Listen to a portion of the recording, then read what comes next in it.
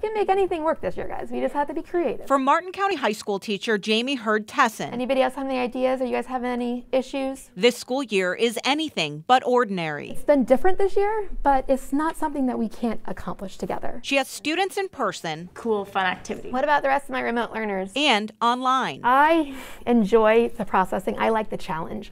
I enjoy that opportunity to learn and grow.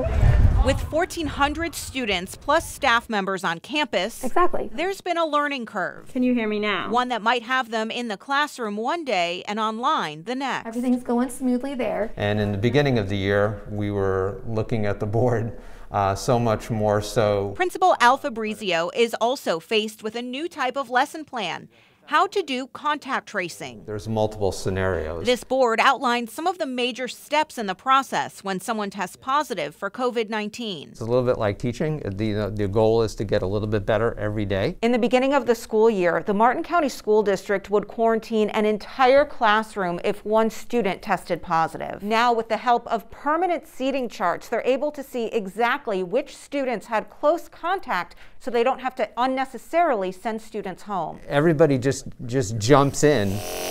That process usually takes a team of up to 10 staff members about two hours from start to finish. It involves pulling a student's schedule, checking seating charts and attendance records, and mapping out close contacts, keeping in mind lunch seating and transportation, then notifying and removing the impacted students. We do this during the school day, but this also could be at 7 o'clock on a Tuesday night, or this could be 2 o'clock on a Sunday afternoon. As of Friday, the district reported 33 cases of COVID 19 at Martin County High School and a total of 591 quarantines this school year. And even with my immune compromised like system, I feel safe here. Jamie says her husband built her this plexiglass barrier for her desk. I think he did a pretty good job for a pharmacist.